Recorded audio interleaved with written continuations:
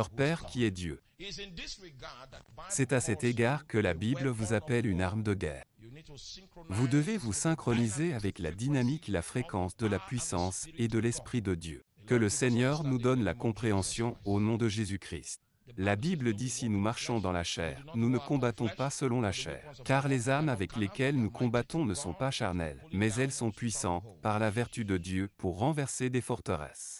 Nous devons bien vérifier le contexte de ce passage afin de comprendre le type de combat spirituel dont nous parlons ici, parce que ce combat n'est pas territorial. Le combat dont il est question ici est le combat de la pensée. S'il vous plaît, aidez-moi à prêcher à votre voisin. Si vous gagnez dans votre âme, vous allez gagner sur le terrain. Si vous perdez dans votre âme, vous allez perdre sur le terrain.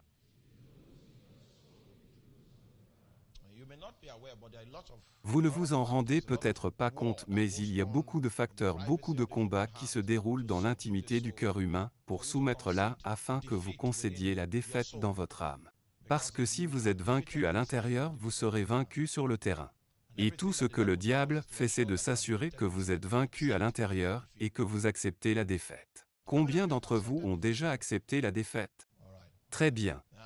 Donc quand la défaite devient évidente à l'intérieur, cela signifie que les saisons et les temps vont révéler la réalité de la défaite évidente. C'est ce qui se passe. Et si vous refusez d'abandonner dans votre esprit, dans votre cœur, avec le temps ce que vous avez cru s'accomplira. La Bible dit n'abandonnez donc pas votre assurance, à laquelle est attachée une grande rémunération. Êtes-vous confronté à des impossibilités en ce moment? Et tout laisse à croire que la meilleure façon de vous sortir de cette situation, c'est de céder. Les hommes de foi ne capitulent jamais. Nous avons donc affaire à des esprits. Ce sont des esprits, et je dois vous montrer l'oppression des esprits familiers ici. Les esprits familiers. La plupart des choses que le diable veut faire, c'est vous amener à être vaincu. Et il y a plusieurs esprits qui ont pour spécialité de vous rendre ministère. Vous aurez l'impression que c'est vous qui pensez. Il y a deux façons dont cette chose peut se produire, soit par votre imagination, soit par votre pensée humaine. Et les démons peuvent se connecter avec vous par voie télépathie. Qui connaît le canevas, les plateformes, la plateforme où la foi se forme? La foi se forme dans le cœur. C'est bien ça. La peur se forme où? Le doute est formé où Le doute se forme dans l'esprit. Ne l'oubliez jamais. En fait, la mère de la peur, c'est le doute. Alors que Dieu essaie d'engager votre esprit et de mettre quelque chose sur la toile de votre esprit, afin qu'il se forge pour être si fort sur votre cœur. Le diable essaie de perforer ce que Dieu est en train de construire en faisant résonner votre esprit sur une fréquence qui est incompatible avec ce que Dieu est en train de construire. Si vous ne gagnez pas cette bataille, vous n'avez aucune chance de gagner d'autres batailles. Cela peut évoluer vers des conditions particulières. En fait, si vous ne faites pas attention, vous allez penser que Satan est fort. Combien d'entre vous ont déjà commencé un exercice spirituel et quand vous avez commencé à faire l'exercice spirituel, soudainement Satan a commencé à vous attaquer et votre santé a commencé à aller mal Combien d'entre vous aviez-vous continué Ou alors vous avez abandonné en disant, ce que tu ne connais pas ne te connaît pas. Vous devez arriver à ce point où l'Esprit de Dieu vient sur vous.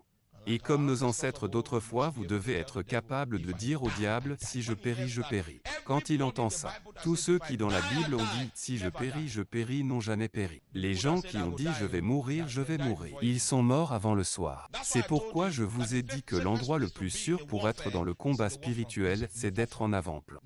Non, ne faites pas marche arrière. Il y a une police d'assurance. Il y a une police d'assurance qui couvre les gens qui sont où? En avant-plan.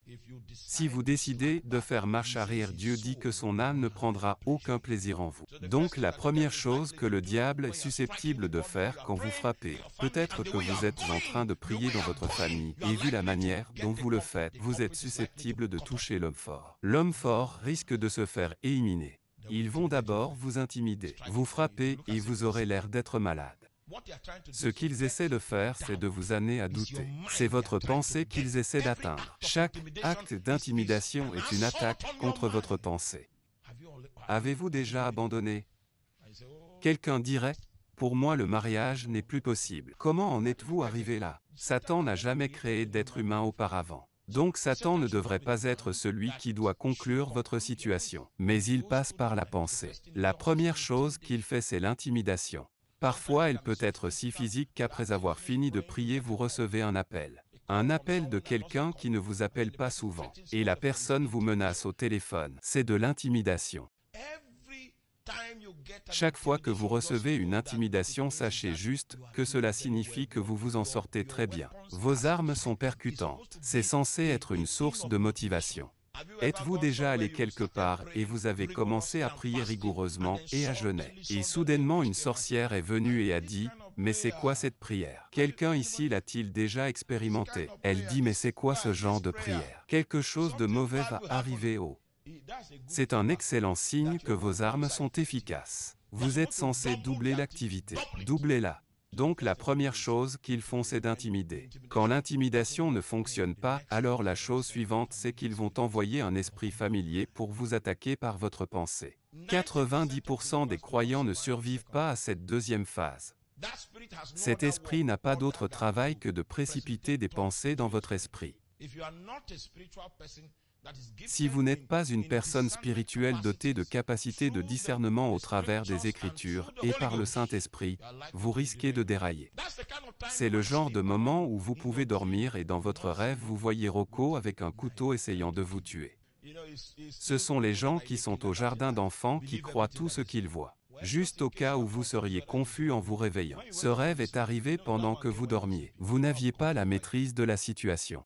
Retournez voir Dieu et dites-lui, j'ai vu Rocco aujourd'hui. Qu'as-tu à dire à ce sujet? Vous allez commencer à voir combien de mensonges vous avez reçus sous forme de rêve. Si vous êtes diligent à le faire, la Bible dit, examinez toutes choses et retenez ce qui est bon. Il n'a pas dit de s'accrocher à toutes choses.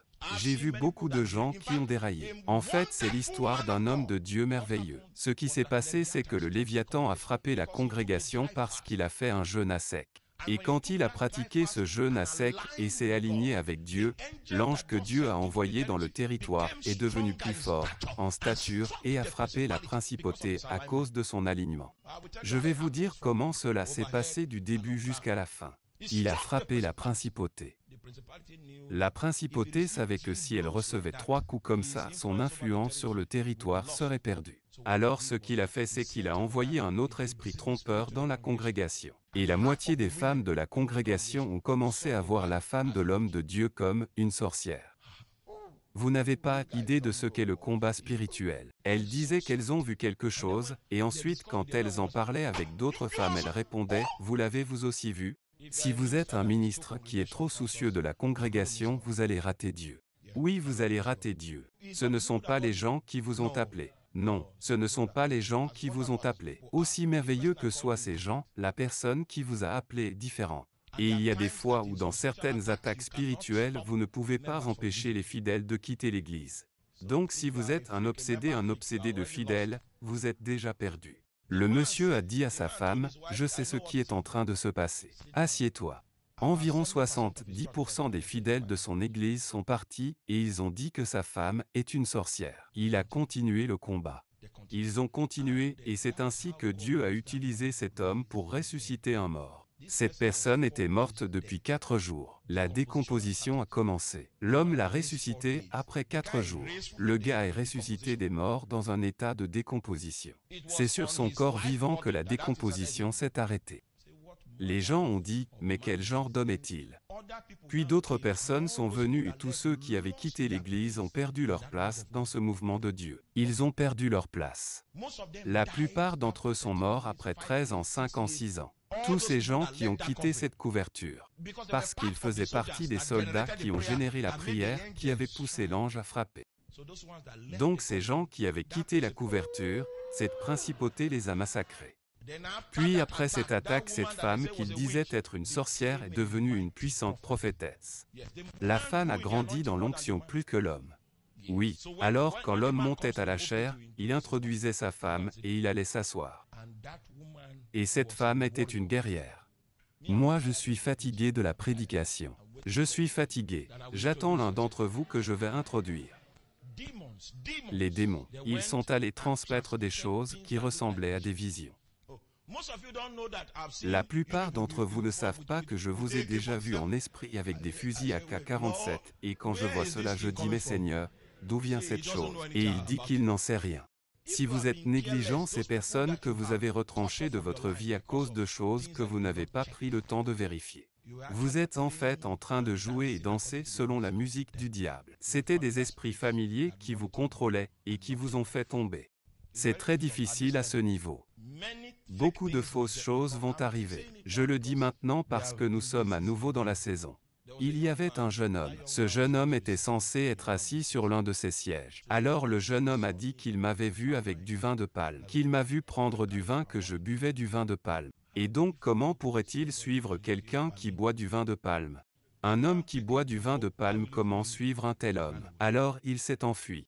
Huit ans plus tard, il est revenu à lui-même et il a dit mais cette histoire, cette histoire de vin de palme, c'est comme si cela ne venait pas de Dieu. Et vous savez quoi? Ces huit années ne reviendront pas. L'esprit trompeur a réussi son coup. Vous êtes avec moi?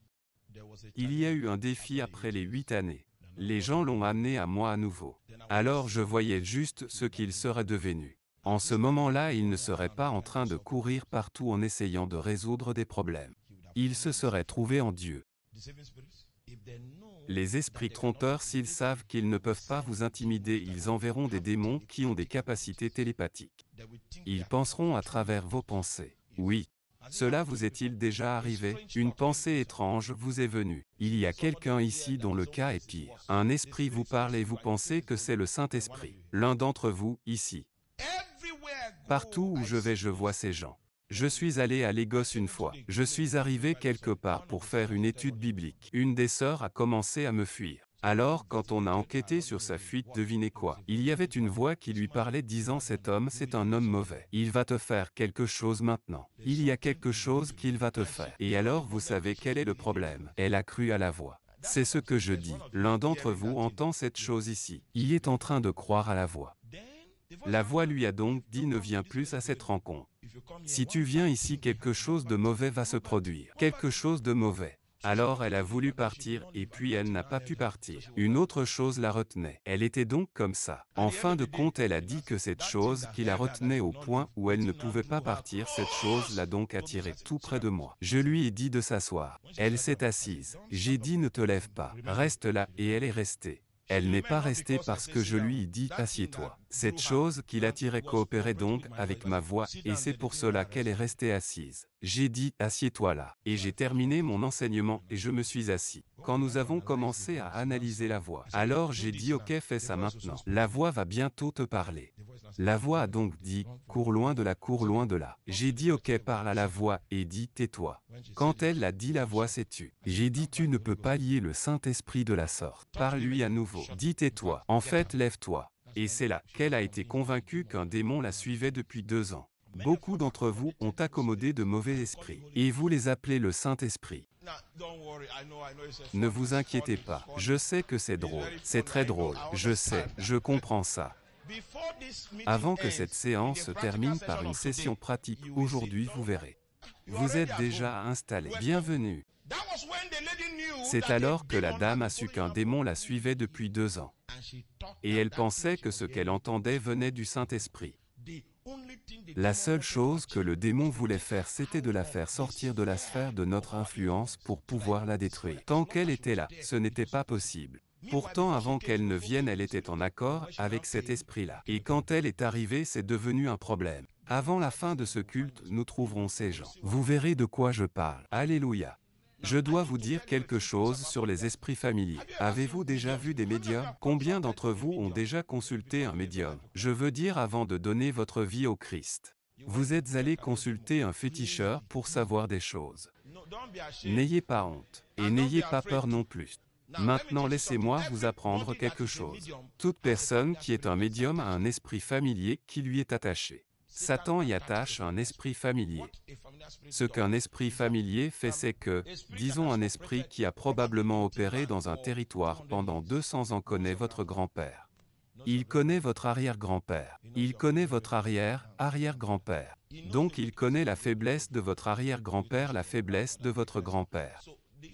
Alors cet esprit va exploiter les faiblesses qu'il a vues chez vos ancêtres. Il va essayer d'exploiter cette faiblesse en vous. C'est la première chose qu'il va faire. S'ils avaient l'habitude de consommer beaucoup d'alcool, l'esprit va vous tenter avec l'alcool. Lorsque vous verrez de l'alcool, il vous provoquera et déclenchera un désir en vous parce qu'il sait qu'il est susceptible d'obtenir beaucoup de profit en essayant d'établir le terrain qui forme déjà un schéma. Chercher à explorer des nouveaux terrains pourrait lui prendre beaucoup de temps. Mais profiter d'un terrain établi, ce n'est qu'intelligent de l'exploiter.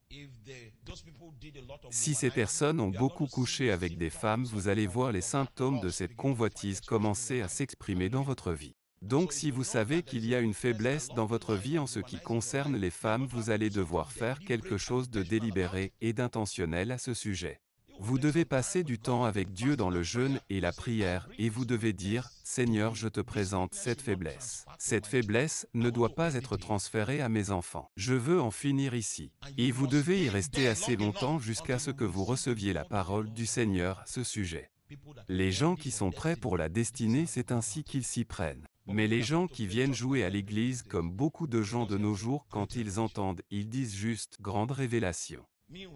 Pendant ce temps, ce qui est prêché, c'est des conseils de vie. Mais il ne semble pas avoir assez d'autorité dans son âme pour en faire un conseil de vie, pour qu'il commence à vivre par cela. C'est quoi la première chose que feront les esprits familiers? Ils vont essayer d'exploiter dans votre vie les terrains qu'ils ont sécurisés dans les générations précédentes. C'est le premier terrain. En fait, si vous vous présentez comme un leader dans votre famille et que vous remarquez qu'il y a une grâce pour le leadership dans votre vie, allez-y et étudiez très bien la famille.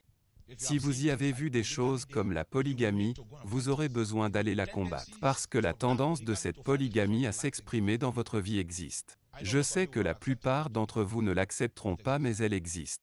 Satan peut même vous promouvoir. Vous arrivez à un point où vous avez un excédent d'argent. Lorsque vous arrivez à ce point, vous avez un excédent de cash, vous avez plus d'argent que vous n'en dépensez pour la nourriture, pour les vêtements. Vous ne connaîtrez pas vos tendances jusqu'à ce que ce jour arrive. Soudainement, vous allez voir que toutes les femmes sont belles.